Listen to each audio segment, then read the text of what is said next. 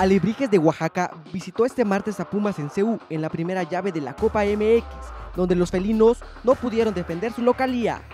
Pumas cayó en su casa en su debut de Copa MX en los últimos minutos del encuentro, frente a unos alebrijes que vienen motivados después de vencer a Casa y Marrones. El conjunto auriazul presentó un grupo plagado de suplentes. El club oaxaqueño dominó gran parte del encuentro, aprovechando dos jugadas a balón parado para sorprender al rival.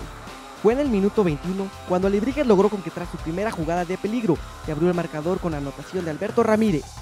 Fue en el segundo tiempo cuando Pumas logró igualar el marcador tras un tiro de esquina cobrado por Lozano, que Silvio Torales aprovechó para rematar de cabeza y así emparejar el marcador. En la recta final del encuentro, en el minuto 88, los alebrijes hicieron la anotación para el 2 a 1, con anotación de Juan Manuel Caballo. Y con un marcador de 2 a 1, Alebrijes se lleva los tres primeros puntos de la Copa, Miércoles Pumas visita la entidad oaxaqueña para cerrar la llave. Informó para MBM Deportes Rafael Vargas.